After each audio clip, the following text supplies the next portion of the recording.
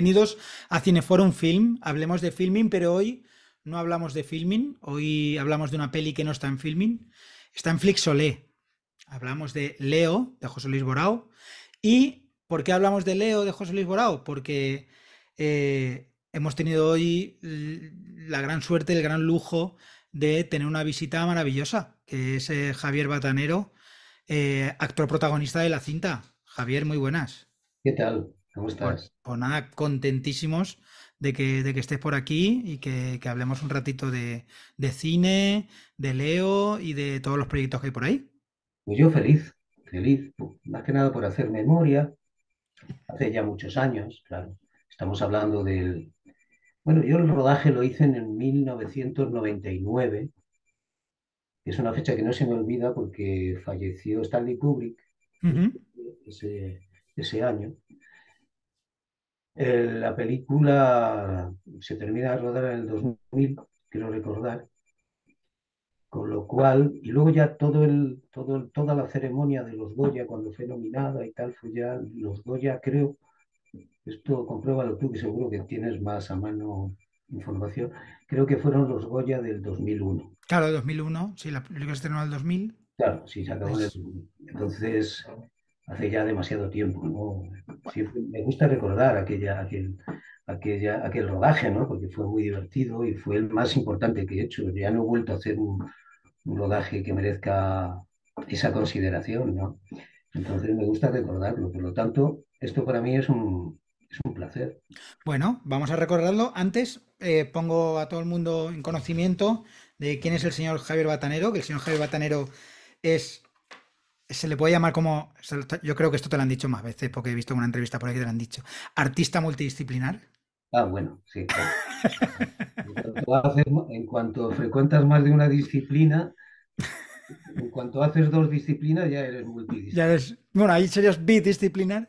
Es un palabra, en realidad, lo que suelen ser los artistas multidisciplinares es que lo intentan por una vía y si no pueden, lo intentan por otra, si no, por una tercera, así hasta que consiguen algo en claro, ¿no? Eh, son contadores de historias o transmisores de historias, ¿no? Eh, bueno, tú eh, eres cantautor des- desde hace muchísimos años, en el creo 87 que creo que está tu primer disco. soy es un cantautor. Todo lo demás han sido cosas que venido sobrevenidas. Yo- pero lo que he sido desde que tengo uso de razón de adulto, desde los 17 años, es eh, acercarme a una guitarra y inventarme cosas con una guitarra, que he llamado canciones. Entonces, bueno, te iba a hacer una pregunta después, te la hago ya.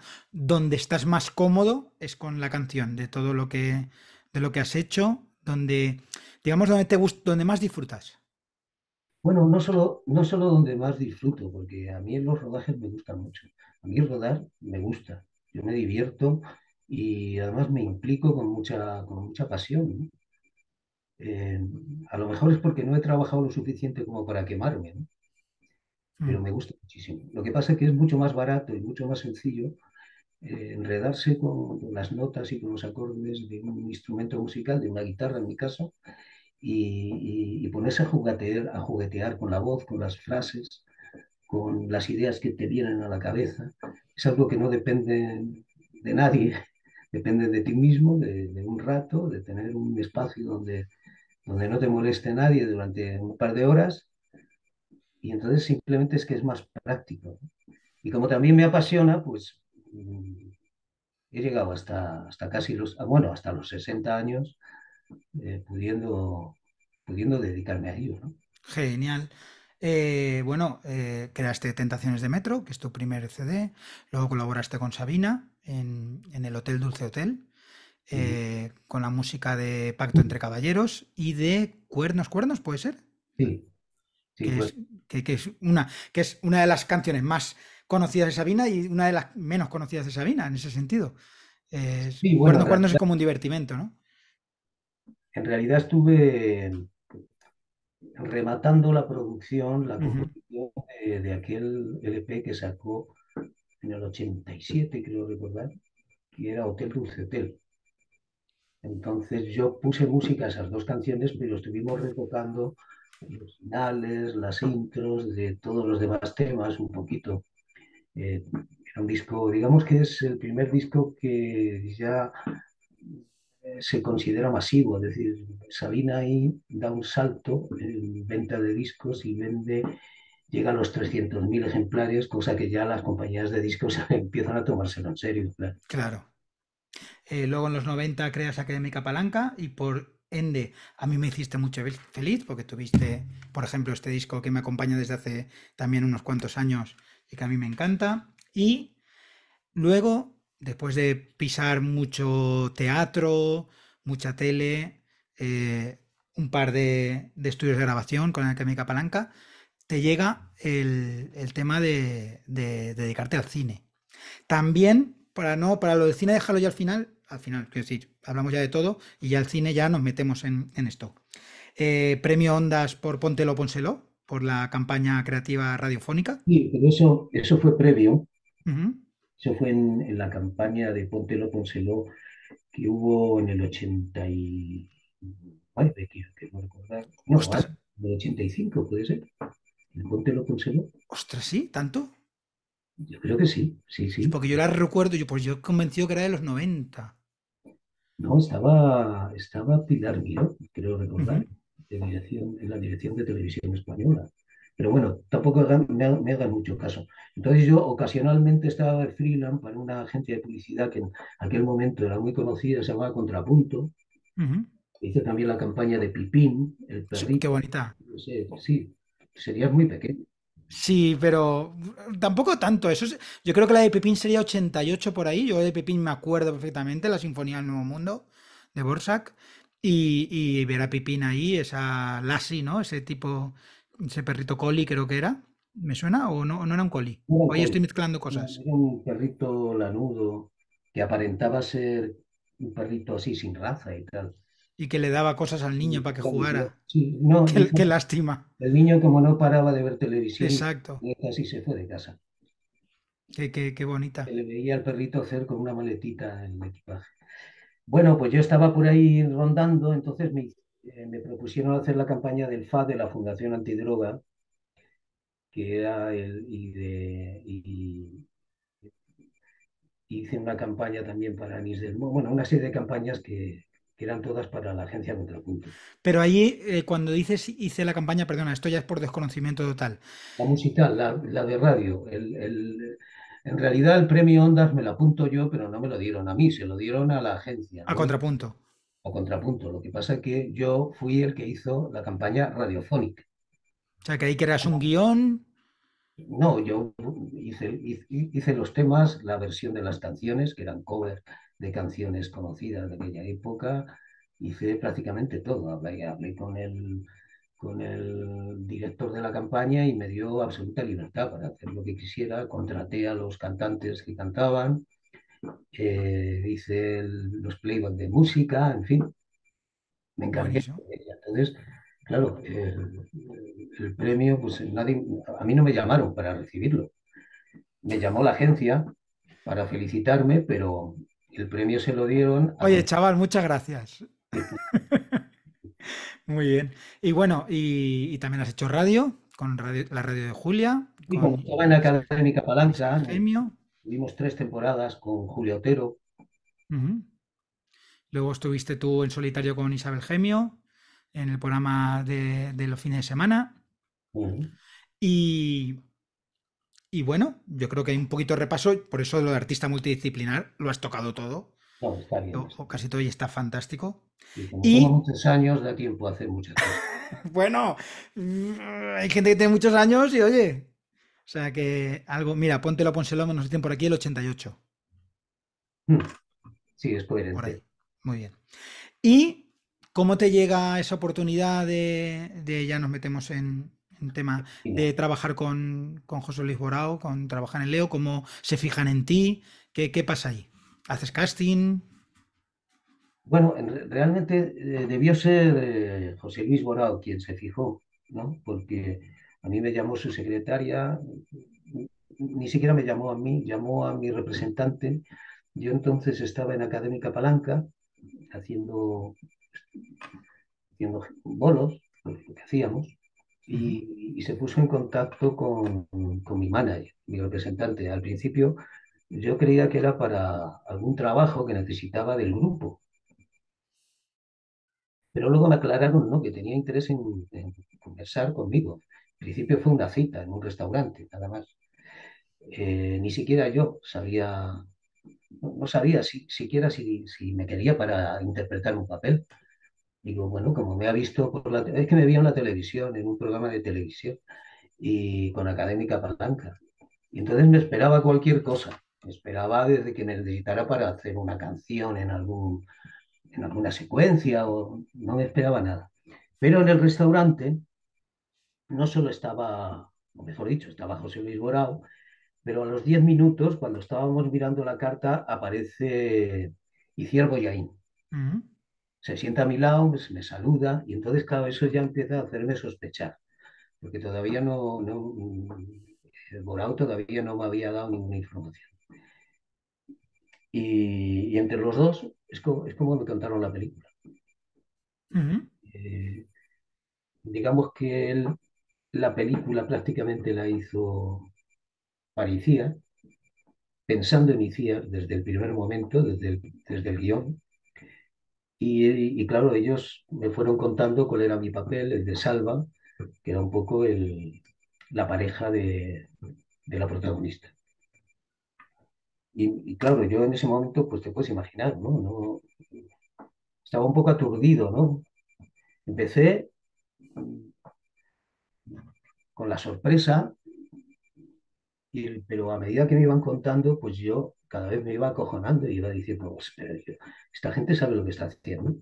Voy a ser capaz de hacer un, directamente un papel tan, tan largo, porque además yo en la película tengo incluso más secuencias todavía que hiciera. No, no, yo, te veo, bueno, eres, protagonista total.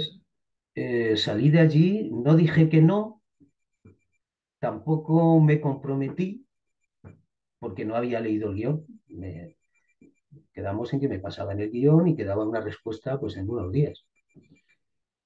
Pero cuando salí de allí, camino a casa, estaba más acojonado que ilusionado, porque de alguna manera habían depositado en mí, pero al mismo tiempo yo ya conocía a José Luis Morado.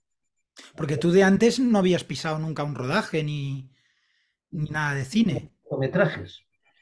Cortos, habías hecho cortos. Había hecho cortos. Pero no es exactamente lo mismo. Aparte, José Luis Borao para mí era un icono, ¿no?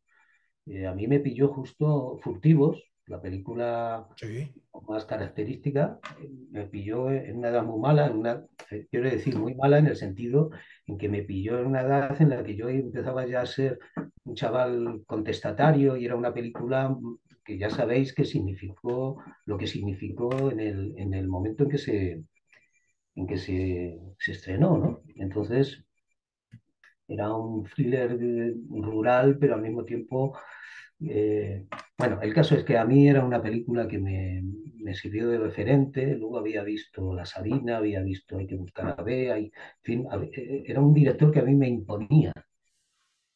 Y por tanto, lo que pensé es, si él ha llegado a la conclusión de que yo puedo hacer este papel y él se llama José Luis Borao, pues sabrá lo que se está haciendo. algo sabrá, sabrá de esto, algo habrá visto. Un poco le dije que sí, pero le dije que sí a ciegas. Le dije, que sí sin saber si, si a ciencia cierta, si, si sería capaz de, de hacer el papel. Esa es la verdad. Y bueno, ahora luego retomamos eh, Leo, ya en profundidad, con tema de rodaje y todo esto. Luego eh, te llama Iciar, ¿no? Para Te doy mis ojos. Sí, bueno. Bueno, antes estás con Basilio Martín Patiño. Sí, sí. hago un, es un papel ya de reparto, eh, con menos responsabilidad y, bien, bien porque, como te he dicho antes, eh, a mí el rodaje cinematográfico, o sea, tener una cámara, ver cómo, ver cómo avanzan, cómo se cómo se, cómo se planifica una, escena, todo eso me gusta mucho. Me gusta mucho. Hablar, dar, el coñazo al operador, al de fotografía y preguntándole cosas. a Tomás Pladeval le, le, volvía loco, ¿no? Siempre que podía le estaba preguntando esto, ¿por qué? Y esto, ¿por qué? Y ahora, ¿por qué? En, en Leo, tú estás, esto es una opinión subjetiva, pero bueno, he hablado con gente y me han dicho lo mismo. Estás genial, estás maravilloso. Y, y a mí me parece que esto no, no, pretendo que tú me digas sí o no, eso es ya idea mía de que eh, creo que sostienes la peli y la sostienes muy bien. Eh, entonces, la pregunta que te hago es, hacer esas tres pelis, pero luego ya no hay más largometrajes. Y, y siendo que has estado nominado, que, que, la gente se fijó en ti y que hubo ahí, ¿ahí eso fue decisión tuya o qué pasó por ahí? No, que no me llamaron, no me llamaron. O sea, y para las cosas que me llamaran, eh, pues algunas cosas las abandoné yo porque eran verdaderas chorradas. Y luego otras cosas eran porque directamente no sabía hacer lo que me proponían. Uh -huh. eran, yo es que no, a pesar de que estuve en un grupo de humor durante más de 10 años, yo no sé hacer estas películas de, de humor intentando ser gracioso y ocurrente y hablando con gesticulando y esas cosas. O sea, que te ofrecieron comedias sí, que, comedias locas, ¿no? Por decirlo de una manera. Tampoco quiero desmerecer no, no, no. propuestas, simplemente que yo no las sabía hacer. O sea, yo no puedo hacer ciertas, ciertos papeles de comedia que he visto toda mi vida, que los actores, los verdaderos, seguramente porque tampoco soy un actor profesional en el, en el sentido en que todos entendemos, ¿no? que puedo, no soy nada elástico, yo de repente no puedo hacer gracietas en una, en una película de, de, de, humor puro, ¿no? Uh -huh. No tengo, no tengo vis cómica tampoco, no. No, no. me acompaña el físico. Y al actor, por lo menos al, al, en, en, o sea, el, el, como decía Borau, el personaje, el, el físico del actor nunca puede contradecir el personaje. Eso es como una especie de, de ley sagrada, ¿no? Uh -huh. Y yo como no tengo vis cómica, pues eh, me notaba que estaba contra mi cara contradecía al personaje que me proponía. lo raro es que me lo pidieran, ¿no? Porque cualquier director de casting o cualquier director pues hubiera dicho, este chico para este papel no pega ni con cola. Entonces, algo, bueno, eso me ha pasado algunas, poquísimas veces, ¿no? Uh -huh. eh, esto no significa que, que sea la causa por la cual no he podido avanzar en, en, el mundo del cine. Seguramente es porque no me han ofrecido cosas que, que yo pudiera o supiera hacer. No. Pero sí que decides eh, escribir el guion de Historia del Arte. Bueno, yo, tengo, yo escribí, tengo, tengo bastantes guiones. Uh -huh. Cortometraje, uno incluso, si está Laura por ahí, no sé si está Laura, pero bueno. Sí, el, no sé si está. Laura, te he dado por si que te nombran por aquí. Sí, es que había salido antes. Sí, bueno, luego hablamos. Es que eh, una incluso me busqué un... Ya la tenemos por aquí al lado. Uno de los guiones incluso consiguió bastantes subvenciones de, del ICAI, del IBAC, del Instituto Valenciano, de Mercedes-Benz, y conseguí hacer un... El guion consiguió bastante dinero, bastante pasta para hacer, para hacer un cortometraje. Era un, corto, un cortometraje precioso, una historia muy bonita. Se llamaba Háblame bajito. Bueno, se llama. Porque sí, sí, he, he visto el tráiler hoy. Háblame bajito. Y, y una semana antes estuve a punto de dirigirla. Y una semana antes el productor me, se quedó con la película desmontó todo el rodaje y hizo él una especie de bodrio, cambiando personajes. Pero bueno, como era el productor y, era el, y todas las subvenciones estaban a su nombre, a la nombre de, al nombre de su productora, pues directamente se quedó con el proyecto y hizo una película con ese título, Háblame bajito, que, que bueno, que se parece se parece poco al, al, a la película, al proyecto que yo tenía en la cabeza. Que Además, he hecho otros guiones, uno de los cuales es este que conoces tú de Historia de Arte, que, que fue elegido en el, en el ese festival que hay en Santiago, que se llama Circuito y que al ganar el premio del guion, pues te daba derecho a producir la película. Y bueno, la pregunta que ahora es, ¿qué os pasa a ti y a Luis Tosar con los vigilantes jurados? ¿Con los vigilantes en general?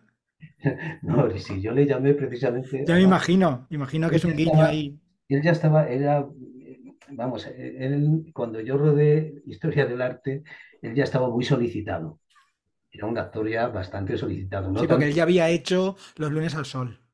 Sí, había hecho, sí, sí, había hecho y alguna más. Que es donde pegó el petardazo él. En, Sí, sí, había hecho la de... Porque Leo es anterior a Los lunes al sol. Yo creo que estaba ya en Te doy mis ojos. No, no, no sé si la había hecho. Te doy mis ojos, es posible que sí. Tengo un lío de fechas. Bueno, el caso es que un poco tiré por encima, como necesitaba un compañero que hiciera de, vigilante jurado para, para el papel, pues dije a los productores de allí, que eran, que eran muy majos, gente muy simpática, seguro que tenéis un contacto con Luis Tosar, pues eh, poneros en contacto a ver si quiere hacer este papel. Pero más que nada como una, forma de recordar lo de, lo de Leo.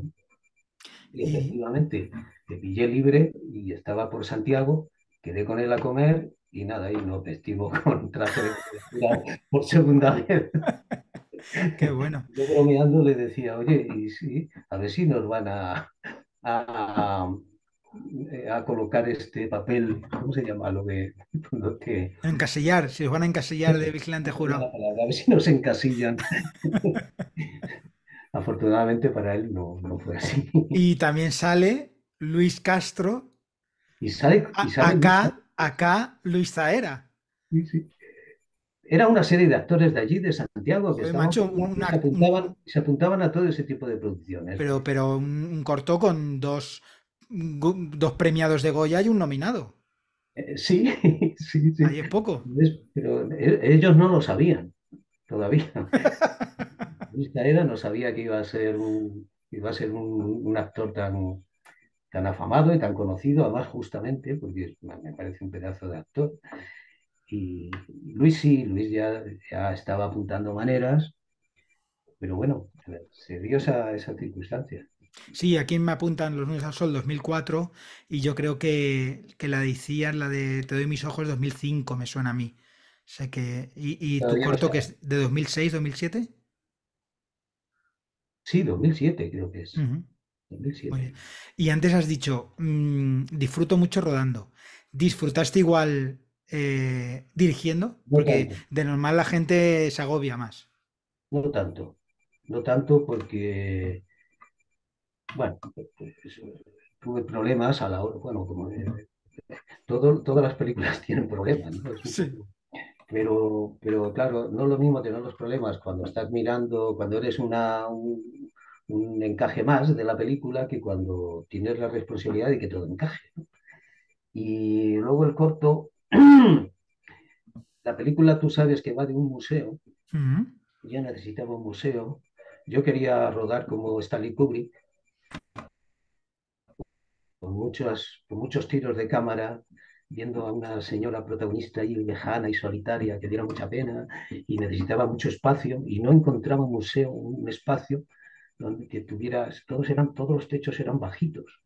Me recorrí todo Santiago, ya me daba igual que fuera una nave industrial y al final terminé en la galería de la Universidad de Periodismo, pero solo me la dejaban un día y una mañana. Y tuve que rodar prácticamente toda la película en un día y una mañana. Madre mía.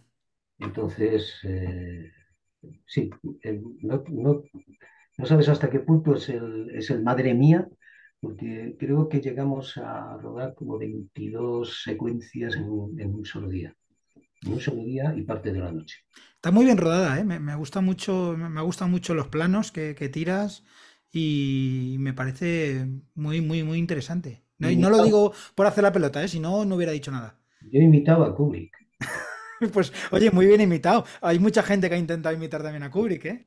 Esa fotografía, ya sabes que Kubrick era fotógrafo. Sí. Y, ¿cómo se llamaba el...? ¿Tienes tú ahí el, la ficha de, es que no, no me acuerdo de cómo se llamaba el, De, el director de fotografía, el operador, pero un chaval ah, que, que se- se- me entendí muy bien con él para ver las, para, para estudiar la fotografía que queríamos.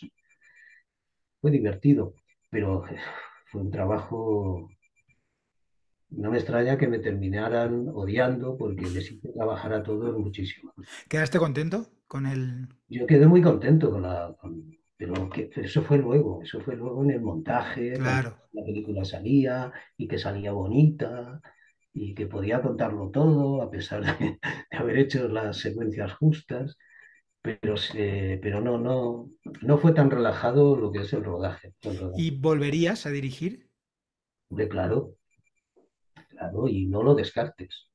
Mm, mm, no, mientras no lo descartes tú, está fantástico. Todavía les- tengo la espinita de, del guion que del que te hablaba antes, de Háblame bajito. Ujú, Quiero rodar esa, e- esa película bien, bien. Qué bien. No lo que hizo aquel malandrín. El... Sé que luego pusiste música a una peli del mismo director, ¿puede ser? ¿De qué director? Del director de Háblame bajito, del menos del corto. ¿Qué Me ha parecido ver algo por ahí. ¿Puede No, ser? no, no, no. Sales en, en IMDb, Sal- sales como acreditado en la novia de Lázaro. Ah, bueno, sí, pero eso fue anterior. Sí, eso fue cuando conocí al, cuando conocí al elemento este, Vale. O sea, que es el mismo director, vale, correcto. sí, pero bueno, fue Ya lo tengo yo. Sí, sí. que me pidió que se hiciera algunas cosas, pero Ya, vale, vale. Todavía no, no, no, no me había, no me había dado cuenta de qué, de qué tipo de individuo era. Bueno, eh, para, para aprender perder o algo eso, ¿cómo se dice? De esto, ¿no? Bueno, en este caso ganar tú. Eh, volvemos a, a Leo. Eh, vamos primero con el tema del- de la nominación, porque claro, yo me vas a disculpar, pero no todos los días puedo hablar con un nominado a los Goya. Entonces, para- entonces Mm. ¿cómo? ¿Cómo? Seguro, pero no quieren hablar, yo qué sé, o no, no. ¿Cómo te sentiste? ¿Cómo, cómo, cómo encaja uno? Hostia, que estoy nominado a los Goya. O sea, que no estoy nominado, que están genial, todos los premios están genial, pero eso debe subir un poquito en ahí el, el ego y debe poner, ¿no? ¿O qué? No, porque ¿Cómo lo como yo tampoco me consideraba actor, me parecía, bueno, yo casi un poco me había olvidado ya de la, de la película. Yo ya estaba lo mío con Académica Palanca y, y no sé, no, no lo recuerdo como, como un hecho grandioso en, en mi existencia. Lo de la nominación, ¿no? Lo que sí recuerdo fue el, el, lo del, eh, el premio Ondas, pero era porque significaba un viaje, un viaje que, del que tengo un muy buen recuerdo, que hice con mi chica, que ya había que desplazarse a Barcelona y tal. Lo de la nominación fue asistir al- a la gala de siempre. eh, yo prácticamente daba por hecho que, que no me iban a dar el premio a mí. Bueno, hay- había gente que pensaba que sí, pero que no me iba a llevar yo Goya, pero para mí me pareció que era un poco excesivo. El papel que había hecho en la película tampoco merecía un...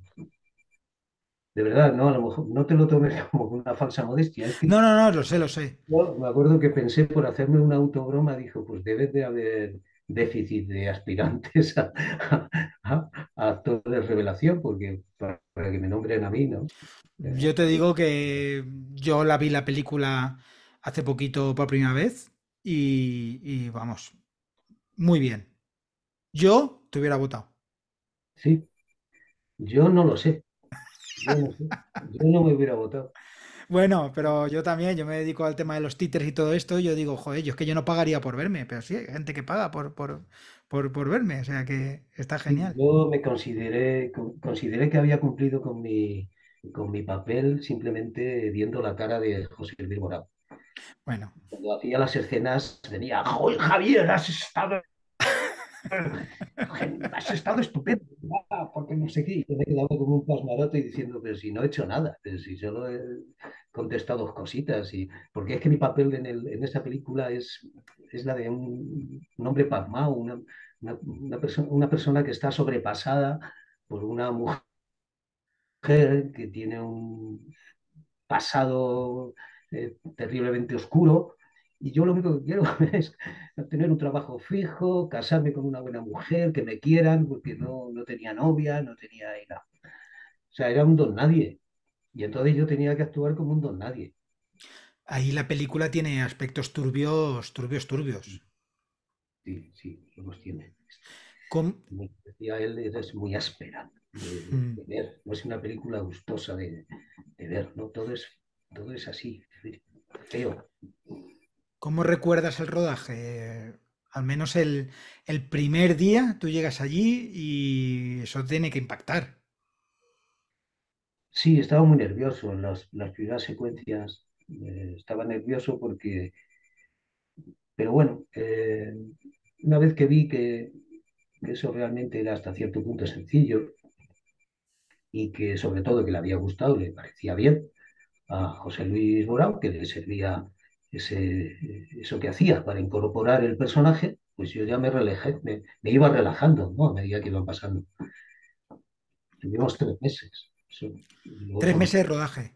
Sí, sí, es que eran muchas secuencias. Y mucho exterior. De todo, había exterior, había interior, había, tenía que sumergirme en un lago sí. rodeado de un estercolero, rodeado de basura. Eh, no solamente era invierno, sino que además... Ah, era invierno además. Sí, sí, que estaba cayendo, está cayendo la de Dios, aunque no está escrito. Metidos en una tienda de campaña con una bomba de aire caliente para no morir. ¿no? Joder. El, el Basili, el, el actor ruso, sí. que teníamos que luchar en el agua. En fin, uh -huh. hubo momentos, ¿no? Pero bueno. Eh, vamos a abrir, digamos que líneas. Todo el mundo que quiera preguntar cualquier cosa o hablar de la peli, levanta la mano por aquí y, y le damos le damos paso, ¿vale? Eh, imagino que trabajar con Iciar, trabajar con Luis, incluso con este actor ruso que no recuerdo el nombre, pero también está ¿Sí? fantástico, y, y, el, y, el, otro chico que, que es eh, el, el, el, ayudante del, del, ruso, que también hace un papel maravilloso. No, no recuerdo los nombres. Pipo, Pipo, hace de Pipo, pero José no me acuerdo cómo se llama. sí, si también, también está fantástico. Tenía que haberme puesto aquí en el móvil el- la ficha técnica de la película, porque no recuerdo.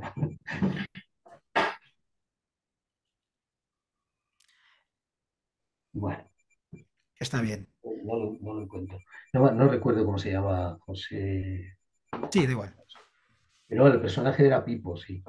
Y, y están fantásticos. O sea, veo que todos los personajes están bastante bien. O sea, no hay ninguno que digas no, no me acaba de chocar. Veo una película muy equilibrada.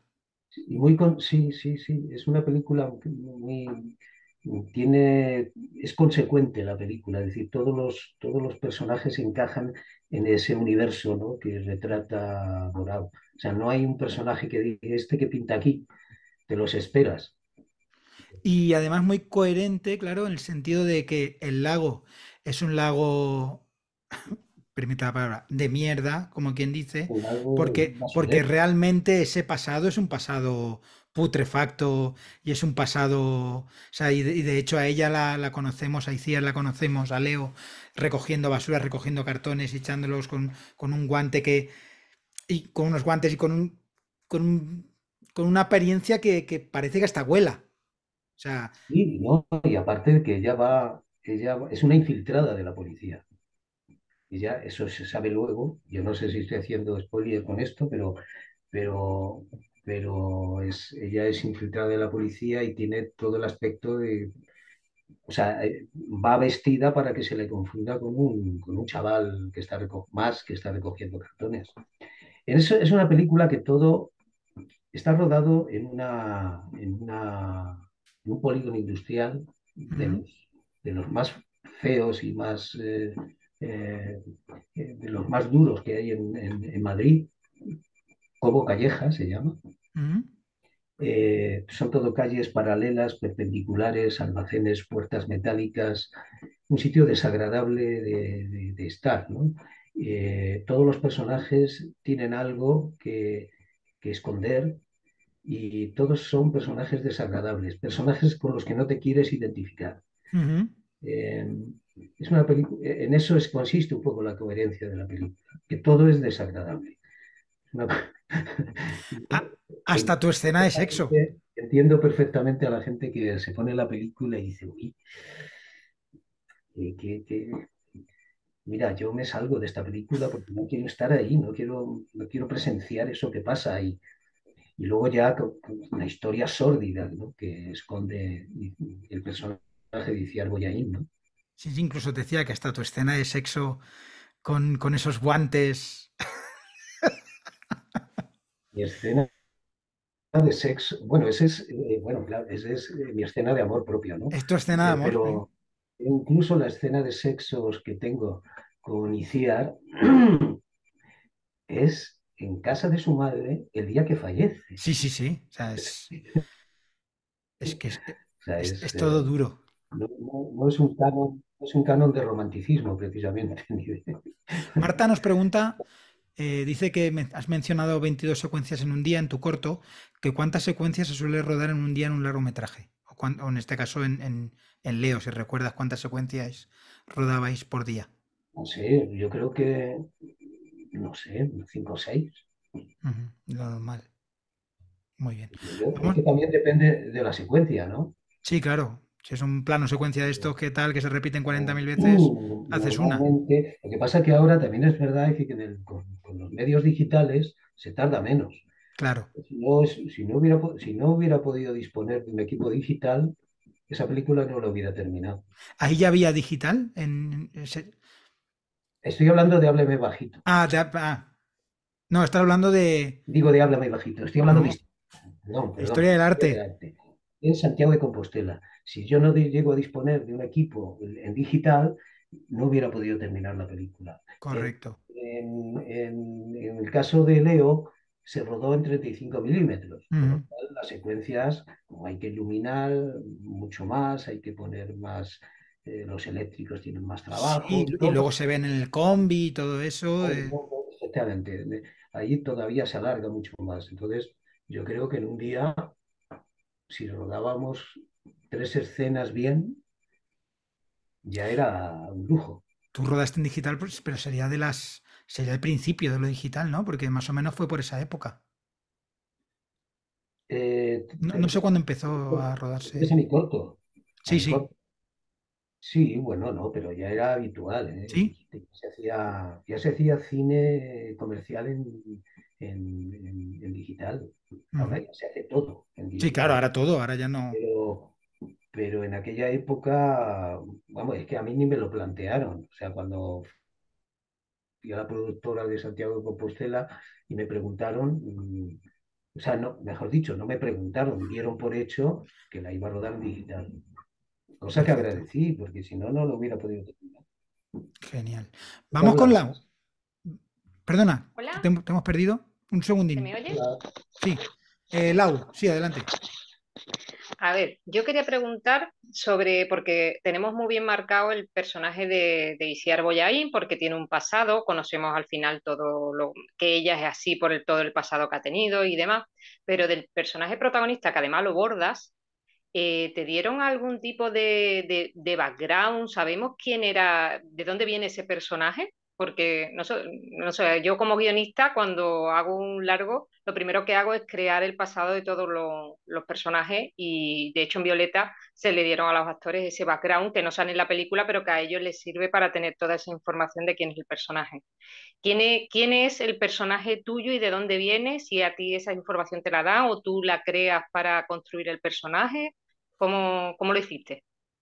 Pues eh, mira, no me acuerdo muy bien, lo que sí sé es que cuando me pilló en Barcelona, cuando leí el, el, guion, el, guion que me dio, la- me dio Borán directamente, en- encuadernado, y, creo recordar que el guion era suficientemente explicativo del personaje.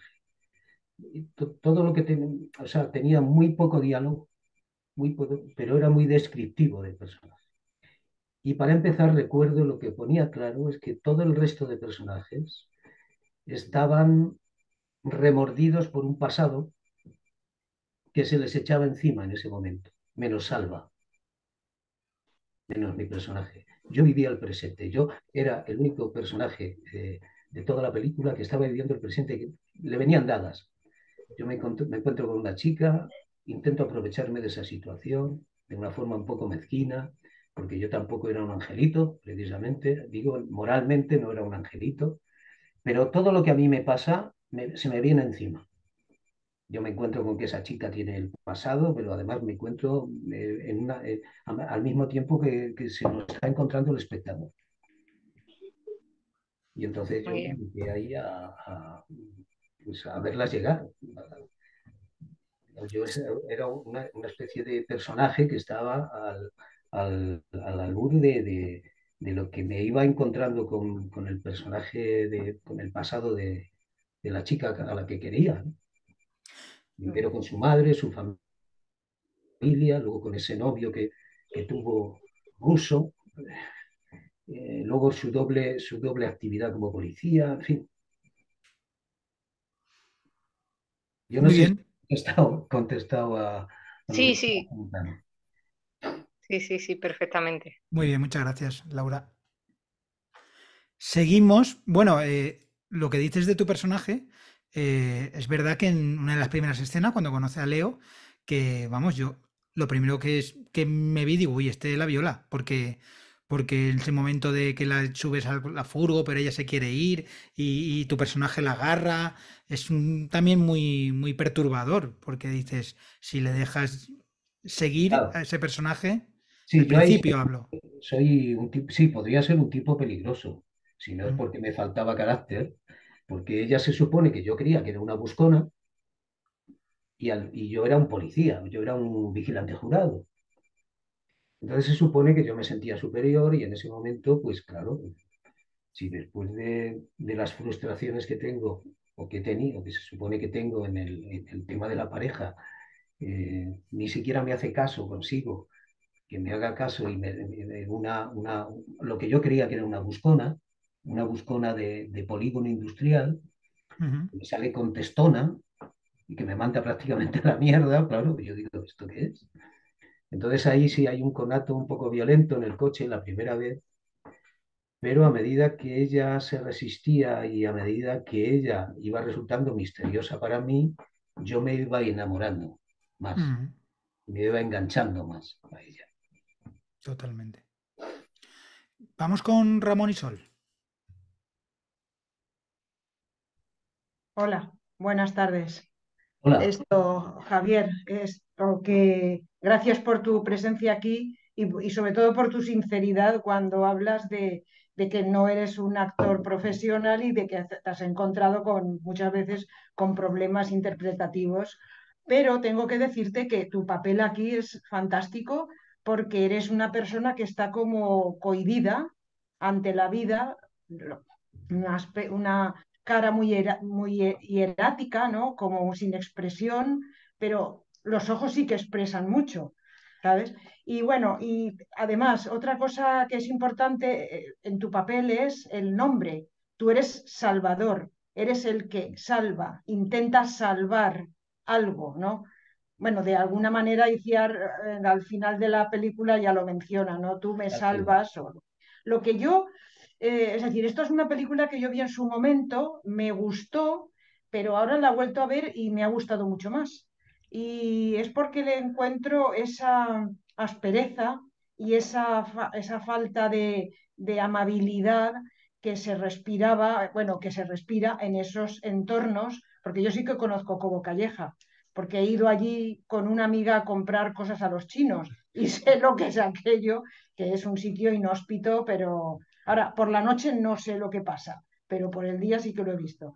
Y lo que a mí me sorprende un poco es em, esto, cómo um, Iciar Boyain eh, quiere, es decir, siendo feliz como es con Basili, quiere matarlo. Eso a mí no me cuadra mucho con, eh, con todo, es decir, todo, en todo el guion, ¿sabes? No sé si es que es, es así como debería de ser, porque eh, de alguna manera te implica a ti, eh, pero ella sabiendo de que no, no sabe cómo vas a responder, ¿no? Pero eh, de una manera muy abierta te dice que hay que liquidar a este señor. Y sin embargo, por ejemplo, hay escenas, la escena que tú tienes con Basili, cuando va, te invita a cenar a su casa, es una escena que yo, desde luego, si hubiera sido tú, no me lo hubiera cargado, porque es una escena de una sinceridad pasmosa. Entonces, a lo mejor lo hubiera engañado a ella y le hubiera dicho que, me lo había cargado y no, no sé. Eso es lo que hice. Eh, te recuerdo que, te recuerdo que es exactamente lo que hice. el ah. anillo, cuando le das el anillo. Engañé. Bueno, pero tú te das cuenta del anillo. En un, primer, la primera reacción que tuvo, que tiene el personaje de Salva fue engañarla. Ajá, ah, ya, ya. cuando le devuelven la fiesta eh, el anillo, sí. era un mensaje, eh, estaba implícito que como tenía el anillo, no es que él me lo hubiera dado a mí, que era lo que ocurrió, sino que eso, que me lo había cargado, que lo había obedecido.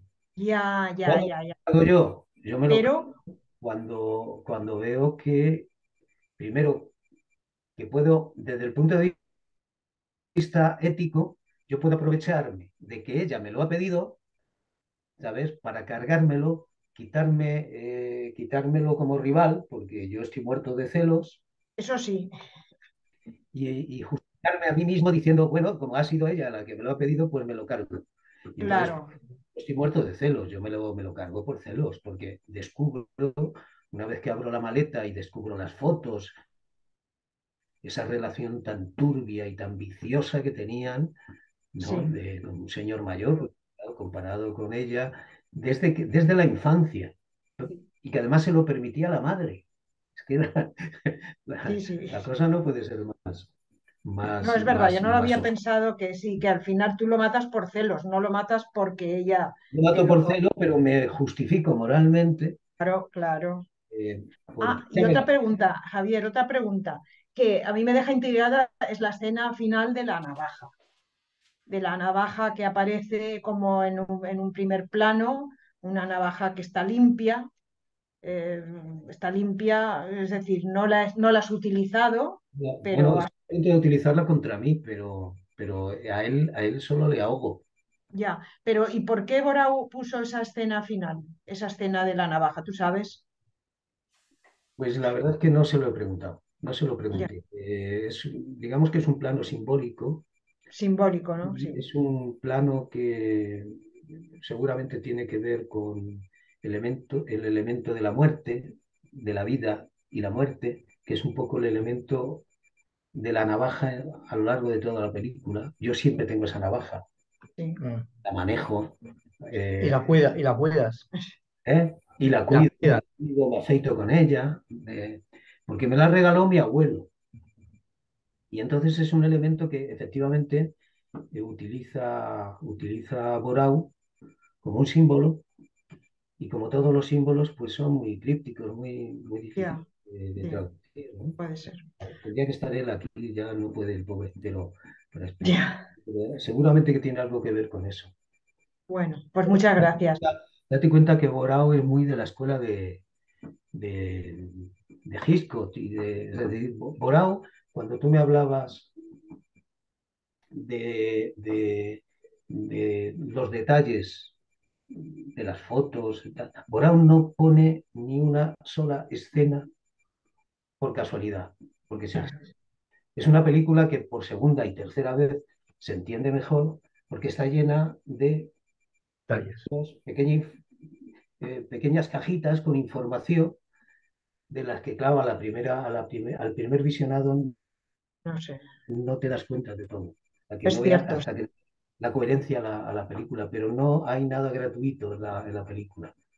Tiene un significado y un porqué. Pero incluso de los personajes aparentemente más, más en segundo plano, como es el, el del camarero, como es la de la jefa de la, amiga y jefa del taller de costura. En fin, todos los personajes esconden algo. algo. Además, algo turbio. De hecho, en el, cartel de la película está la, la cara de Leo y de su cabeza hacia un lado sale tu cara con la navaja en el cuello. Como que ella te pone, digamos que ella con lo que te pide te pone un poco la navaja en el cuello. De, si quieres seguir en mi cabeza, eh, tienes que, hacer lo que te pido. Entonces ese cartel es muy... Es muy simbólico. Sí, la verdad es que sí. Sí, de, lo que efectivamente yo soy una herramienta, un mero instrumento de, de ella para tomar decisiones sobre que vienen de su pasado y de un pasado del que, del que quiere salir por la tremenda, es decir, directamente con, pues, utilizándome a mí para quitárselo del medio. Ya que ella por sí mismo está enganchada, digamos, a, todo ese vicio, a toda esa, esa relación que tiene con el, con el hombre este. Es una dependencia. Sí. Una dependencia. Muchas gracias, Ramón y Sol. Gracias a vosotros. Vamos con José. Hola, otra vez a todos. Muy buenas. Eh, tenía muchísimas preguntas para ti, Javier, que gracias a Emilio se han ido solventando porque al ir conduciendo la entrevista ha resuelto muchas de las dudas que yo tenía, sobre todo anterior a, la película con Académica Palanca y demás. Aún así me quedan algunas. Eh, sería la idea de, tú antes habías comentado que de acuerdo a tu físico, ¿no? o en parte por culpa de eso, gracias a eso, tú no, no te veías en ti mismo una, una vis cómica, ¿no?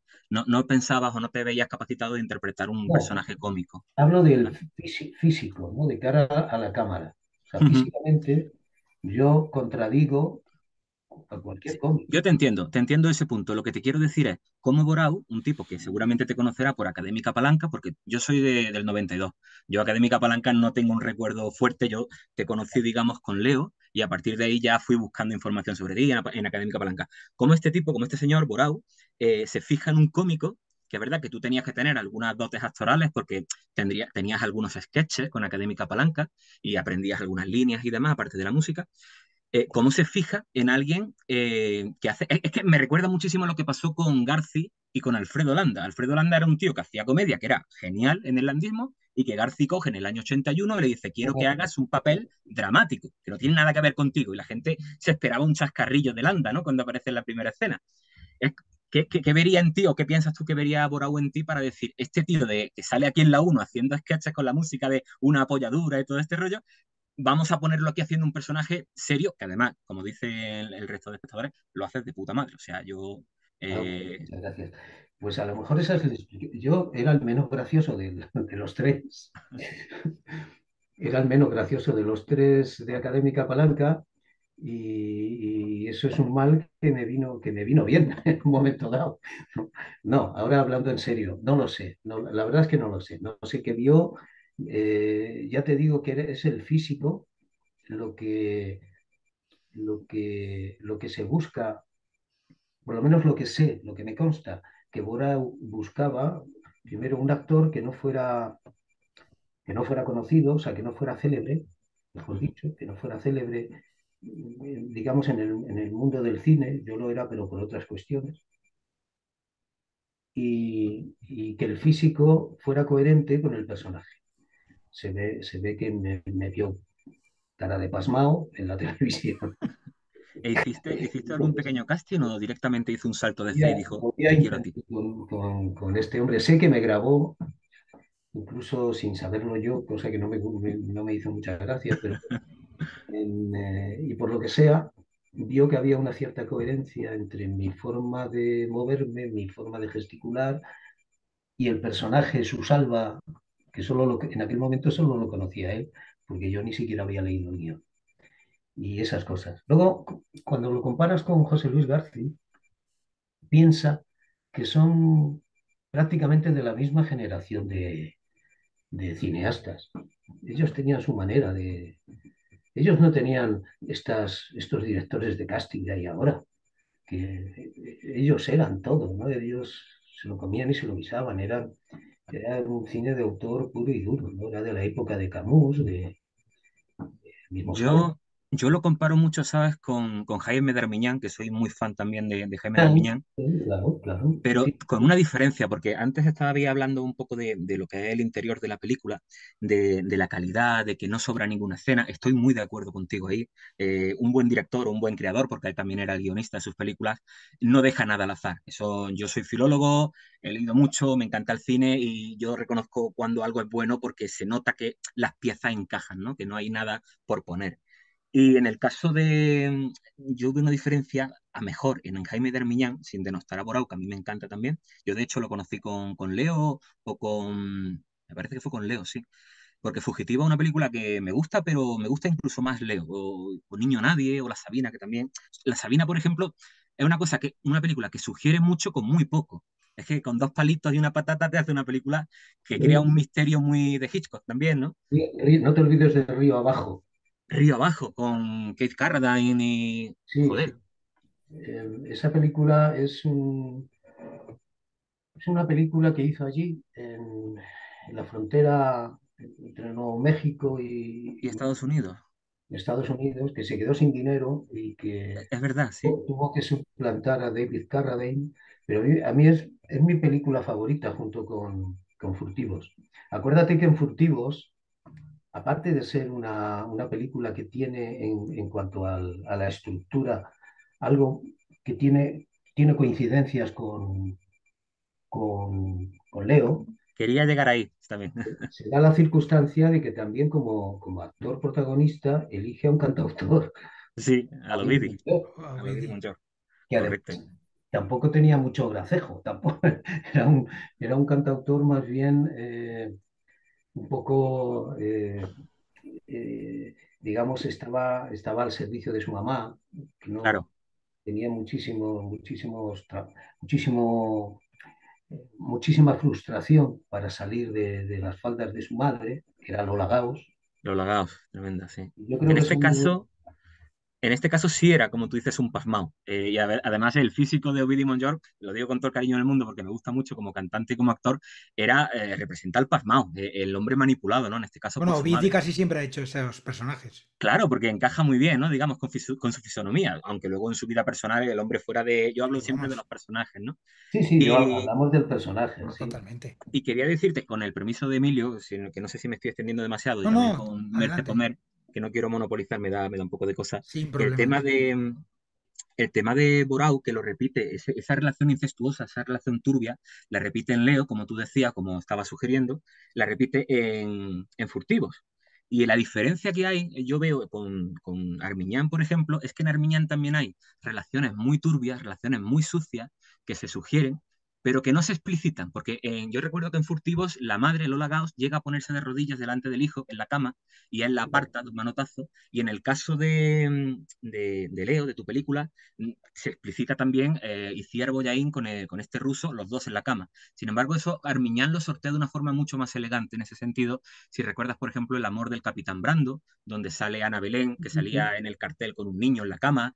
Eh, Jaime Chávarri tiene también eh, el, río, algo, el río de oro, creo, si no recuerdo mal Sí, sí. lo, lo sugieren de una forma mucho más elegante que Borau, que es más explícito, ¿no? Ahí, en mi punto de vista, pierde un poquito de ahí esa, capa- esa capacidad de sugerir. Y yo quería luego rebatiros, eh, primero, a Emilio, lo que había dicho del cartel, que, que es un apunte que yo no había visto, lo de que, bueno, sí lo había visto, pero no había hecho esa interpretación, porque es que el cartel de Furtivos es igual. Si te das cuenta, hay otra relación, Es el No si- mismo, es el mismo grafista. El mismo grafista, exactamente, y son carteles, el de Furtivos es la hostia. Todavía, no recuerdo el nombre, pero es un, es un grafista especializado en cartele- cartelería de cine. En aquel, en aquel momento era muy solicitado, en los años 90. ese, Era, ese era era- un grafista muy conocido. Ahora, en este momento no recuerdo el nombre. Pero ese era incluso mejor. ¿Perdón? Porque la, ese era incluso mejor porque salía, me parece que era de- del, del protagonista, salía como una obsesión, la madre salía de su cabeza. Bueno, es, es Zulueta. Ah. Zulueta. Iván Zulueta, el de Arrebato.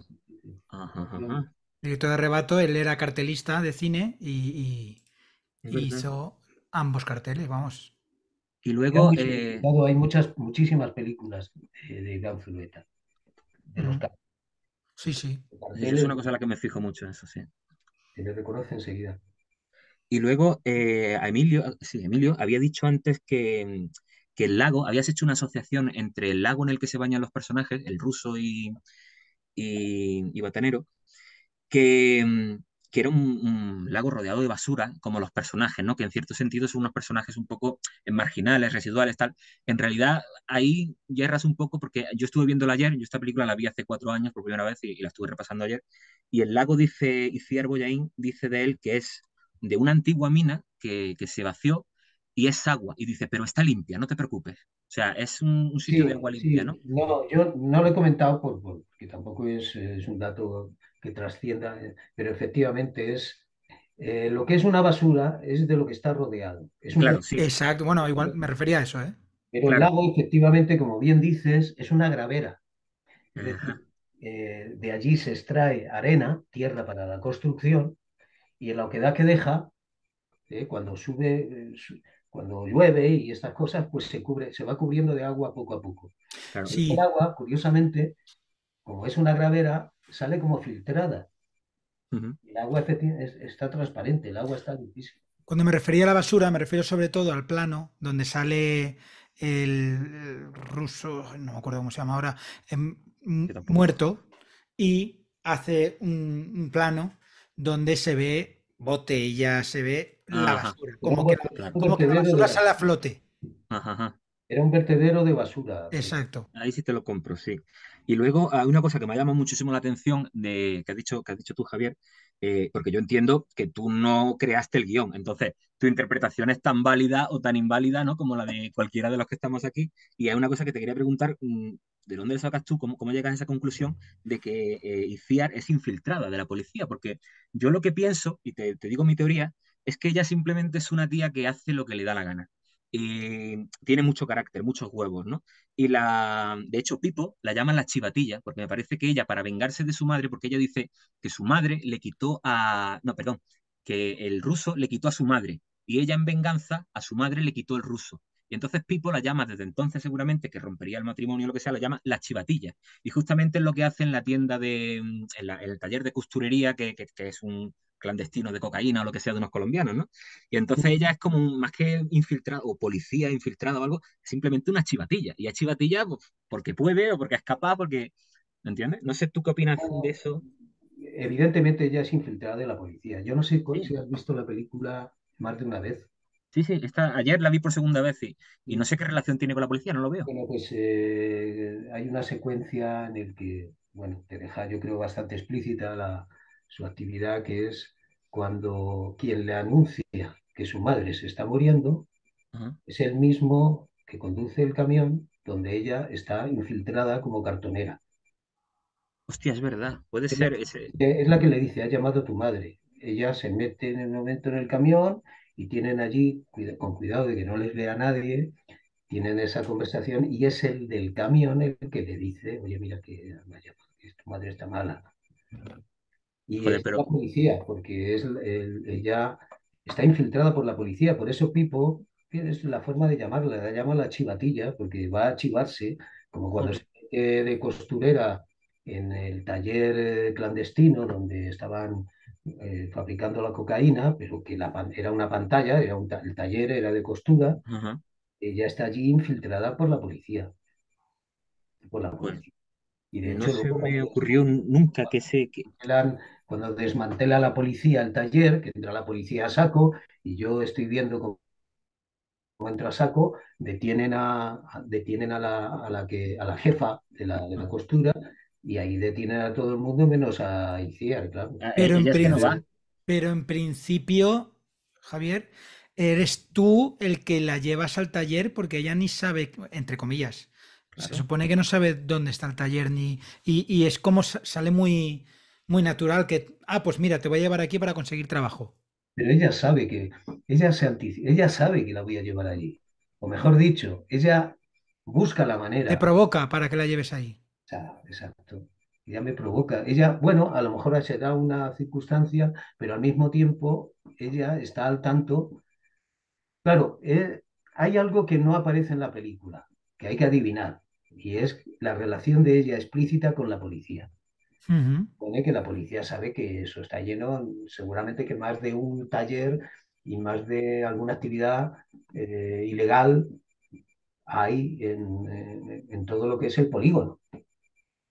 entonces ella mm, induce, cuando habla con la, con la, con la jefa del taller, ella de alguna manera induce al, al, muchacho este, al, ingenuo de Salva, pues a introducirla poco a poco, a dar confianza. Eh, date cuenta que ella es cartonera, precisamente para que se la conozca.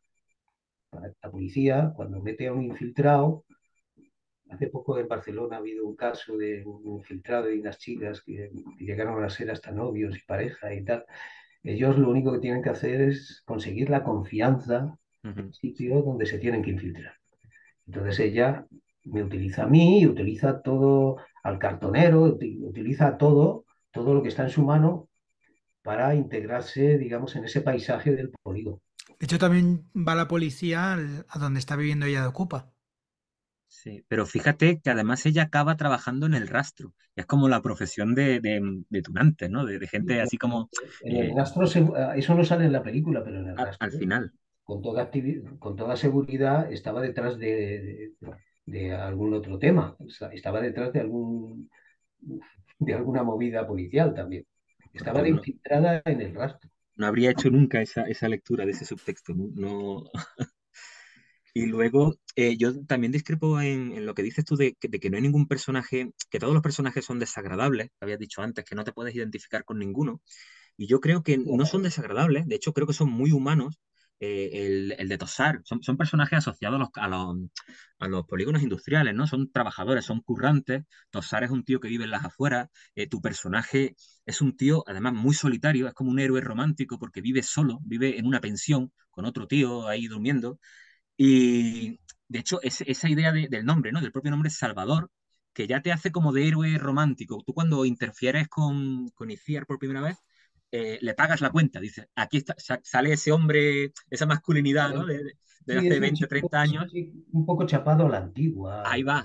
Y está con el puro. Ahorrar, ahorrar todo lo que puede del sueldo que gana y por eso está en esa, en esa pensión miserable en la que duerme, que, es, que, que, ahorra hasta el, último detalle y con ella se muestra un poco, pues, un poco paternalista, ¿no? Un poco dice, bueno, es ella la que, cuando se quita el gorro y cuando descubre, cuando le gusta, porque es una tía que le atrae, pues sí, la protege, la busca. Primero, ya de paso, pues se la quiere tirar, pero como ve que sale con testona y tal, poco a poco para ella, para él es, una opción que tiene, por fin, de encontrar una persona que, le gusta, que, pero claro, está muy tan lejos de ella, está lejísimos de ella, de su realidad, de lo que esconde, pero, eso le atrae, ¿no? Eso quizá le atrae. A él todo lo que le pasa, como le decía antes a Laura, le pasa a tiempo real. Es el único, es el único personaje.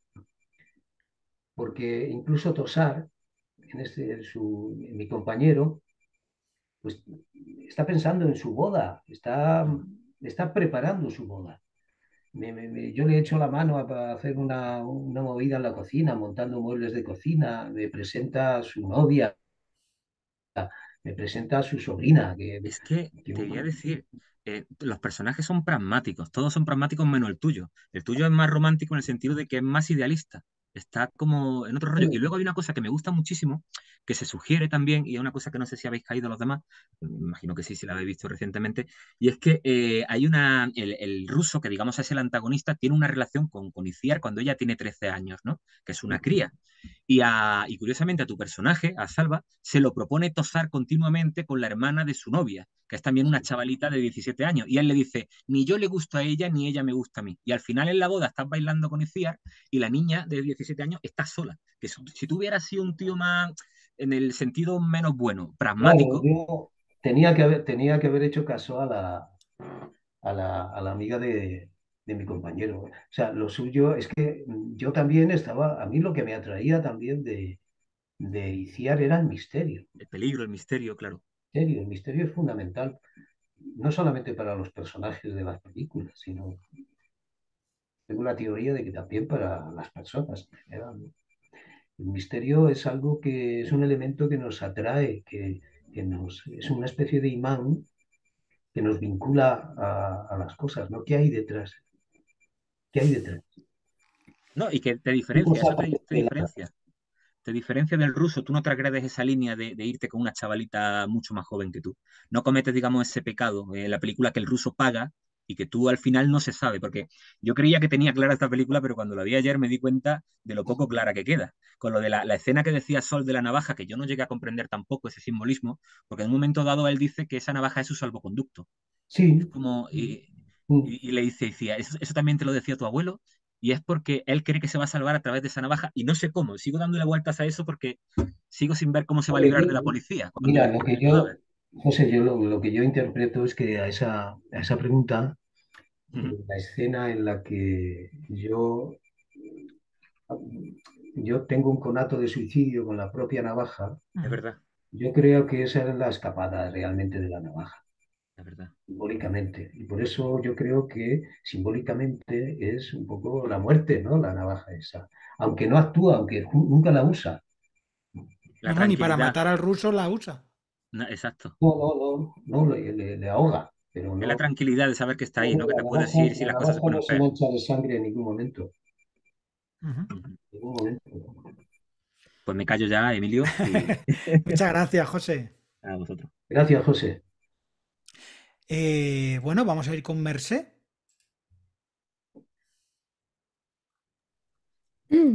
Hola, buenas noches. Ay, ay, ay. Ay, ay, Mare. Ay, ay, ay. Bueno, gracias Javier por estar aquí. Bueno, ah, yo tengo que decir que esta es una película que la vi en su momento, pues hace ya un montón de años y que me gustó mucho y que la recordaba bastante bien, pensaba yo. Pero luego me la puse, la volví a ver el, sábado, después de haber ido al cine y ver el Triángulo de la Tristeza y bueno, acabé porque es una película desoladora. Es una película muy triste, es una película muy dura y, bueno, pues eh, esta es la, sensación que tenía, ¿no? Pero luego también me aparecen algunas, algunas preguntas, ¿no? Que esto es también un poco alrededor de lo que ha comentado Laura. Y que tú dices, él es un personaje del presente, ¿no?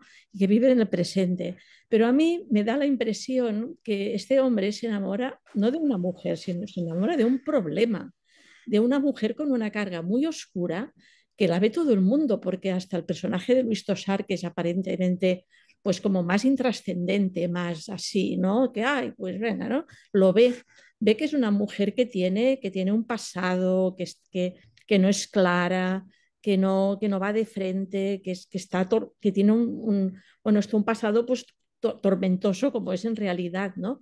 Y a mí esto pues como que la primera vez no lo, no, lo pensé y ahora esta, vez sí que lo pensé. Pensé que cómo se enamora este hombre que representa que está en el presente y que es así como inocente de alguien que, no, con el que está... Claro que no será feliz, ¿no? Sí, pues eh, es que tú misma, estoy de acuerdo con lo, con, un poco la dificultad de la respuesta es por qué lo hace, ¿no? Sí, ¿por qué? Un poco mm, conecto con lo que acabamos de hablar, ¿no? Yo creo que, hay un elemento que a él lo que le, atrae realmente es el misterio, es el peligro, el, precisamente la, todo, todo, todo lo que sugiere que puede haber detrás de un personaje que no comprende, que simplemente físicamente le atrae, pero que no responde jamás a lo que él espera de ella ese misterio mm. o ese conjunto de misterios es lo que es lo que le engancha a él. Sí, sí, pero que me llama la atención de que una persona que vive como... la de Luis Tassar. Él, él, no quiere una novia convencional como la del papel de Luis. Ella quiere, ella lo que se siente atrapado por, por, por esa por esa mujer tan, tan, tan misteriosa que esconde tanto, tan falsa. Al, mismo tiempo es que él, tiene que ir poco a poco quitando velos, misterio. Ella le obliga a ir poco a poco quitando los velos. Primero, él no tiene ni idea hasta que hasta más de la mitad de la película que ella pueda ser una infiltrada de la policía o que trabaje para la policía. Luego, ah, Mira, ¿ves? Sí. él, no se puede ni imaginar el pasado que tiene absolutamente viciado con la relación que tiene con el, con el propio marido de su, de su madre. Y la relación que tiene con el, con el ruso, en realidad, es la pareja de su madre. Sí, sí, sí, esto está claro. Que, bueno. Lo va descubriendo a medida que va abriendo cajitas y a medida que va avanzando la película. Y llega un momento en que se encuentra con, Y nunca porque se lo cuenta ella. No, no, no, ni se lo cuenta ella, ni se lo cuenta el propio guion de la película, vamos. Por eso digo que más que él es un, es un personaje del presente, o sea, no es que él eh, sea un personaje del presente, sino que todo lo que le sucede a él le sucede en presente, en tiempo presente. Él mismo no, no sabe qué es lo que le viene, lo que le va a venir encima un día después. Y, bueno, y bueno, y la, otra cosa que también, ah, que yo pensaba que ella era una confidente de la policía, pero no una infiltrada, que es distinto. Yo, a mí la, lo que pasa en la película me, me llega como una confidente, como una persona que no es policía, pero que la, policía pues le pasa, le encarga, los confidentes, estos que, que la policía les paga para que les, les, pasen información, pero esto es una cosa y ser policía es otra. Bueno, no sé. yo es que no, yo no hago esa distinción, pero es porque... Bueno, no sé. Era como para aclarar, ¿eh? porque yo pensaba que era más bien... ¿eh? pero... Tienes toda la razón. Si ella no es exactamente de la policía, claro. No, no, que podía ser y yo que no lo pillo. No, ¿eh? no, no parece, no parece, no. Ella efectivamente mm, trabaja a sueldo para eso, para no, infiltrada, sino, sino, una confidente, ella se mete, está, conoce esos lugares turbios y entonces sabe que esa información se la pagan.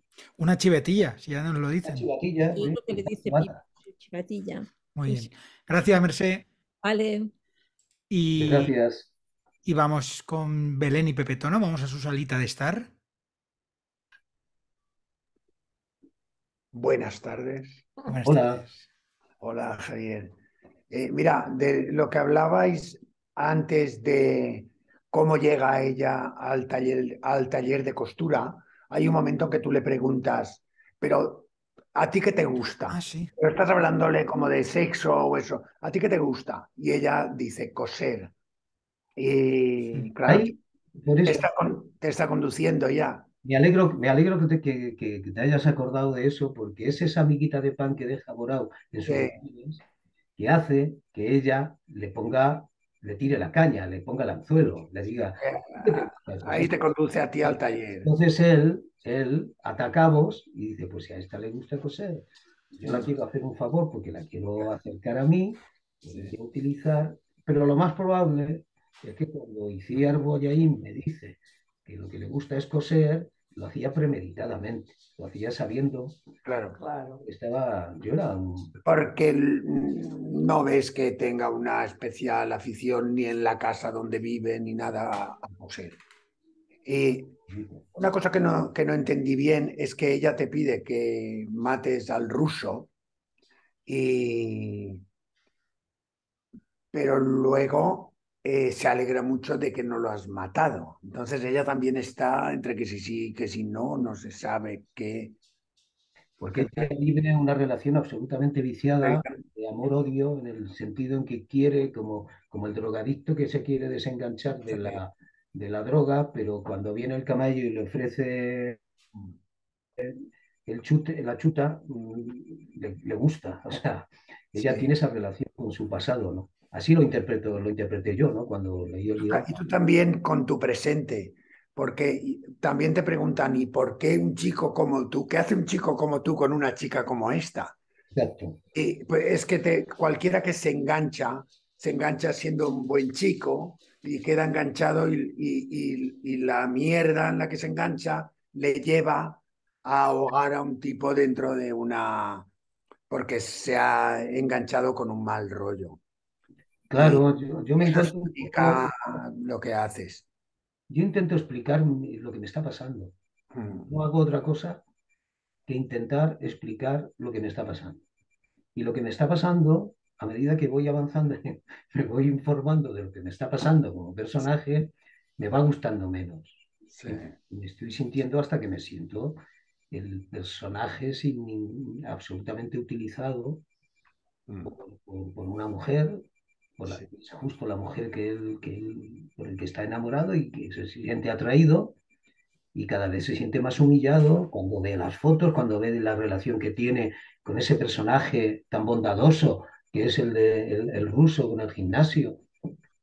Pero yo, ¿por qué voy a matar a esta persona si esta persona es una buena persona? Llegas a la conclusión que el, el pasado de, de Ciar Boyaín, con ese triángulo que tiene con su madre, su novio y ella, un poco la tiene atrapada. Esa es la sensación que me da a mí, ¿eh? porque yo soy un... Yo también, eh, cuando, cuando vi la película, que la vi en su momento, llevo tiempo sin verla, pero cuando la vi dos o tres veces con atención, hmm. yo soy un intérprete más de la película, es decir, aunque la haya rodado, no significa que yo no tenga una, un punto de vista, digamos, tan, tan subjetivo como el que podáis tener vosotros, el que puedas tener tú, ¿no? Es lo que interpreto. Yo he tenido más, más la oportunidad de, anticiparme en el guion, ¿no? A intentar entender de qué va esta historia, ¿no? Pero luego no siempre se consigue comunicar en, la, en el cine lo que, lo que pretende el guion, que eso es otra... Sí, claro, claro. Yo creo que, que ahí eh, José Luis Borao confía en exceso, quizá, quizá un poquito en exceso, en la sagacidad y en la inteligencia del público. Ah, por eso me ha gustado tanto a mí. Pues seguramente que lo ha hecho para ti, para y, ya por último, por último, eh, lo de la navaja, al final, yo cuando vi que se abre la navaja, pensé, mira, esto es un final abierto. Porque sí, porque quedan aquí los dos que no se sabe lo que va a pasar con vosotros y queda abierto el final. Pues sí, se puede interpretar. A mí me parece que vale también esa interpretación. Yo le veo un elemento ahí simbólico, porque la, navaja sale en los momentos en los que sale, pero simbólico por, sobre todo para, para la vida de Salva, ¿no? Y lo que hablábamos antes, ¿no? Es, ese salvoconducto, que es mi salvoconducto, ¿no? Yo creo que esa es la pista más clara, pero vamos. Pero bueno, no sabemos si va a venir la policía a buscaros. Hombre, tiene toda la pinta de que Salva acaba en Chilona. Sí. Cuando, cuando encuentran, lo que pasa es que eso ya queda tan claro eso ya Borao no se molesta en contarlo, pero es evidente que cuando va el Pipo con la bolsa que se ha encontrado del, del ahogado, porque ya ha aparecido el cadáver, es evidente que ya esa es la prueba que va de... o sea, nos podemos imaginar la segunda parte de Leo perfectamente. Y él, yo me lo imagino en Chironao, en, yo qué sé dónde, en Madrid, Muy bien, muchas gracias, Pepe Tono. Gracias. Gracias a vosotros. Eh, vamos con Rosa. Hola, buenas noches. Hola, Rosa. Hola, yo también sumarme al agradecimiento. La verdad es que estoy disfrutando muchísimo con todo lo que cuenta Javier. Y se han dicho muchísimas cosas y a mí me han aclarado muchas dudas que ya tenía. Me queda con el análisis este que habéis hecho, que es verdad que ella está enganchada y también lo interpreté así, porque es como un amor-odio que tiene y es como que decir, me tengo que desenganchar, pero luego se pone súper contenta cuando ve que no se murió, ¿no? Pero al final de todo, ya viendo que esta chica es tan falsa, al final de todo hay un momento que ella le dice a él, como que cuando ya se muere el otro, como que, bueno, que ahora ya está liberada y que se ha enamorado de él. ¿Eso es verdad? Porque ya como ella es más falsa que un duro sevillano, no sé. Y a mí me parece que por la trayectoria del personaje, pues ella dice y hace siempre lo que mejor le conviene, con lo cual eso tampoco creo que sea un final feliz. Ay, de golpe ha llegado el salvador de mi vida, el príncipe Hay una escena. Pregunta que me queda ya, ¿eh? Hay ya está. Hay una escena que me gusta mucho de la película eh, y que a lo mejor te puede, te puede resolver o te puede aclarar un poco qué es lo que pasa una vez que ella una vez que ya le consta que, se ha cargado al, ese, viejo problema, que yo antes me he expresado mal, he dicho ella está enganchada a, no, es el pasado el que le ha enganchado a ella. Y en este caso, es lo mismo que Salva. Ella está, tiene ahí un pasado que la, que la tiene cogida, ¿no? psicológicamente, en su manera de ser, en sus emociones, por eso tira para adelante, por tira por medio, ¿no? Por la calle del medio en cuanto tiene un, problema y tal. Hay una escena en la que una vez que se da cuenta de que efectivamente se lo ha cargado, ha conseguido lo que, lo que le había pedido, eh, hay una escena en, en los pasillos del metro. Es una escena en la que prácticamente él va como un corderito detrás de ella por donde ella le dice. Hay una escena de pasillos, un juego de cruces de pasillos metro. A mí me parece que tiene mucho simbolismo la película, en el que ella decide, vente conmigo, nadie se va a enterar. Eh, guarda bien el, eh, eh, has encontrado, no, has guardado bien la bolsa. O sea, ella, ella le, está, le está diciendo qué cosas tiene que hacer para que no le pillen, para que nadie se dé cuenta, para que no encuentren el, el, cadáver, para que ahora mismo yo no sé cuál es exactamente el texto que le dice, y mientras se lo va diciendo, le va arrastrando por pasillos que aparecen en el metro, perpendiculares, se quedan en un cruce, él quiere ir para un lado, pero ella le trae, le corrige y le manda para el otro. Es una escena solo en pasillos de metro, en el que, por cierto, aparece Marisa, Marisa Paredes. Marisa Paredes. En un cameo. Y bueno, pues en esa escena yo creo que responde a lo que a, tu, pregunta. Efectivamente, él está perdido y ella lo sabe. Él está perdido. Lo único que ella sabe que como confidente de la policía, como chivatilla, pues ella seguramente, muy probablemente, eh, ella se libre de cualquier responsabilidad. Va a ser él al que le va a caer toda la culpa. Ya, ya. Y ella lo sabe de sobra, lo sabe de sobra. Y en ese momento lo único que es marear, ten cuidado con esto, ten cuidado con otro, que no se enteren, que no sé cuántos, pero ella, él sabe, ella en ese momento sabe que está perdido. Muy bien. Sí, pero ella le dice que se enamoró de él. Sí, pero eso es falso, acuérdate de la voz. tocó muchísimo, porque no cuando sé. Están bailando, cuando están bailando, él es consciente, por primera vez, de, en qué situación se encuentra. Ella ella es consciente por primera vez de que él sabe lo que es quién es ella. No dicen una palabra, están bailando un vals, no me acuerdo el vals, y al mismo tiempo que se da el plano de ese baile donde ellos están mirando hierática, porque eh, digamos ahí se está explicando todo, celebrando la boda de su amigo, al mismo tiempo están, eh, está introduciendo planos de cómo la policía va descubriendo la bolsa, ah. la bolsa que le meterá a él en la cárcel, que le va a condenar. Y es cuando aparece Pipo delante de la policía y dice, ¿tú qué haces aquí, chaval? Y dice, pues mira esto. Y tal, y dice, a ver. Sí, es que yo tenía, la, tenía un poco la duda que podía ser porque ella siempre es muy osca con él, ¿sí? Excepto cuando él, él llega y le da el anillo, que es una manera de decirle, ya lo maté. A partir de ese momento que le da el anillo, ella cambia totalmente. Ya no es osca, ya es como que se le, no sé, se le abre el cielo o algo así. Y digo, pues a lo mejor eso se, se desprende de su pasado y entonces se pone a vivir la vida, pero tenía esa duda, ¿entiendes? Entonces, por eso le he preguntado, porque estáis analizando todo eso y por eso me he atrevido a preguntar. Bueno, muchas gracias, Rosa. Vale. Bueno, José nos comenta por aquí, el metro estaba cerrando y ya no pasaban trenes y, estaban cerrando las salidas y ella lo guía hasta la única salida disponible, ¿no? Hasta una salida. Vamos acabando ya, vamos a ir con, con Laura.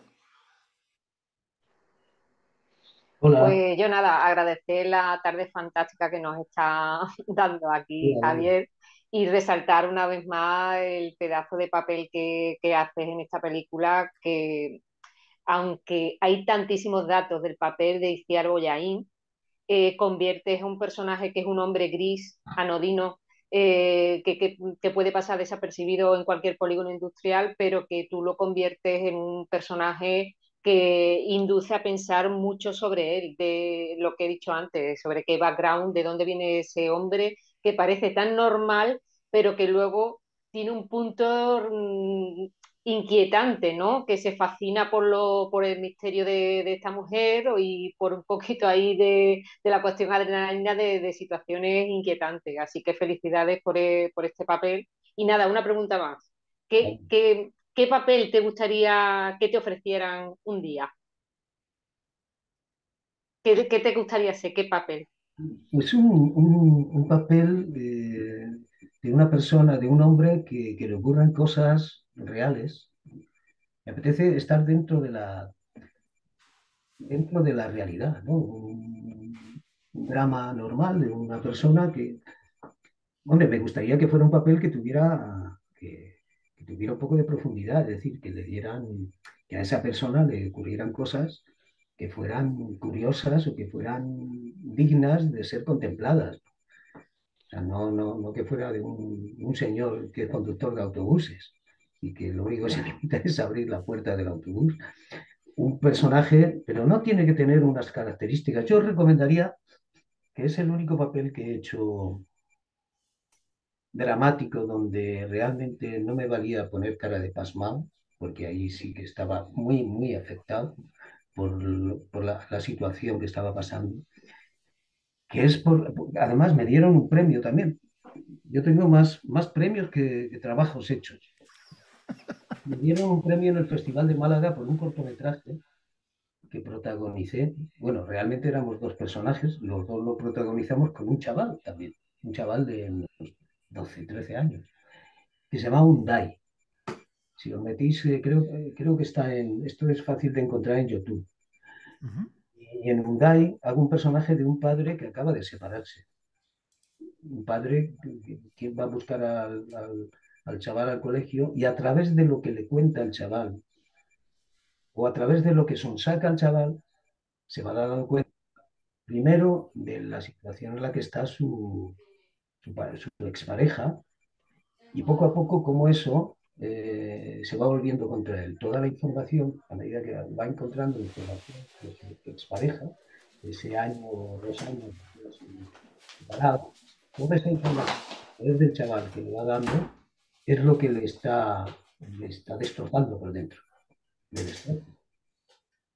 Hasta que llega un momento en que se enfrenta directamente al hijo, culpabiliza al hijo de su situación. Es una película muy común, que es un cortometraje, pero, eh, pero tiene mucho. Yo creo que la inmensa mayoría de los padres separados se puede identificar con ella, que yo os recomiendo que la veáis, a pesar de que es un cortometraje, tiene mucha amiga, digamos, ¿no? Genial. terminado en Y. Sí, Undai, ya lo he puesto aquí en el chat, Undai. Y, y nada, estamos ahí. Es un papel como ese, ese tipo de papeles me gustaría hacer. Perfecto, muchas gracias. Muchas gracias, Laura. Gracias a ti, Laura. Eh, nada, antes de acabar, dos cositas.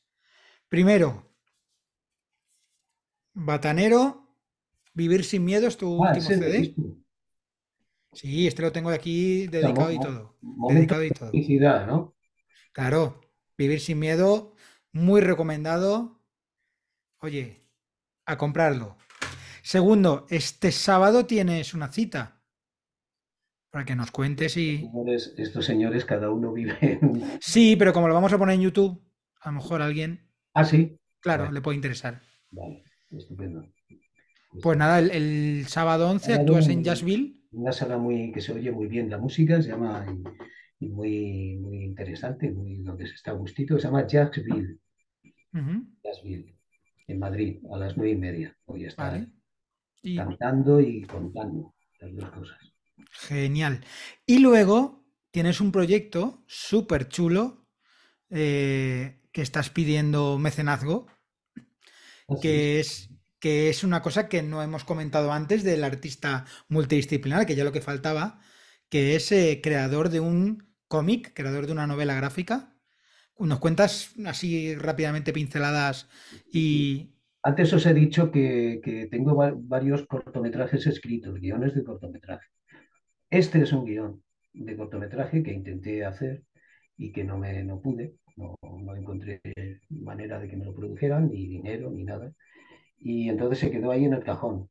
Mi, mi, mi hija mayor terminó de estudiar ilustración y un día le propuse que por qué no, por qué no hacía una novelita gráfica con esa historia. Entonces, nada, pues le pasé los papeles y ella ha estado trabajando bastante durante más de un año, hasta que ha conseguido hacer todas las viñetas, todos los papelitos, todos los dibujitos. La verdad es que es, eh, ha, sido muy, muy bonito verla, ver cómo avanzaba la historia, dibujito a dibujito, plano a plano, ¿no? Es como un storyboard, pero, pero minucioso, ¿no? Y he aprendido mucho con ella también. Se, se llama Operación Mandrágora y es una película, y es una película, es una historia... Bueno, es que es una película, como, tú has dicho. Eh, sobre una, la movida, una movida policíaca que hay de la policía de aquella época, de la Dirección General de Seguridad del año, finales de los años 70, con ese local que es la Mandrágora, donde se reunía eh, Crae, Sabina y, y Alberto Pérez. Entonces, ahí alrededor de esa, de esa movida hay una historia policíaca que yo creo que va a ser entretenida ¿no? de, ver y de leer. Pusimos en el grupo el enlace para Berkami, creo que es, eh, para, para ser mecenas. Yo ya estoy esperando mi novela gráfica, así que os invito a que le echéis un ojo porque puede ser muy bonito, primero, ser productores ejecutivos de, la novela gráfica y sobre todo apoyar cosas chulas que se hacen y, temas culturales que, creo que vale la pena. Javier, muchísimas gracias. Te lo agradezco, te agradezco que te hayas acordado de, claro. la novelita. Y también te agradezco que me hayas invitado a participar porque me lo he pasado, me ha obligado a, a recordar y a recordar momentos que para mí han sido apasionantes, ¿no? Como podéis imaginar, ¿no? ahora mismo que pasa el tiempo, cada vez me parece más mentira, ¿no? Cuando, cuando lo recuerdo, ¿no? He hecho la última película con José Luis Borao, he participado en la última película de, de Basilio Martín Patino. A ver si voy a ser un gafe, ¿no? No, no, porque luego con Iciar fenomenal. Por eso no me llaman, porque Bueno, muchísimas gracias. Vamos, un, un lujo tenerte por aquí, escucharte. Me lo he pasado muy bien, Pepe, la verdad. Eh, mucha, mucha suerte en todo. Eh, nos citamos para el próximo Cineforum, que será cuando hagas ese personaje de vigilante de seguridad que le pasan cosas. y, y, nada, muchísimas gracias por venir y nos vemos en la próxima. Nada, gracias a todos los que habéis participado, que tengáis suerte y cuidaros todos. Muy bien, nos vemos en la próxima. Muchas gracias amigos. Chao.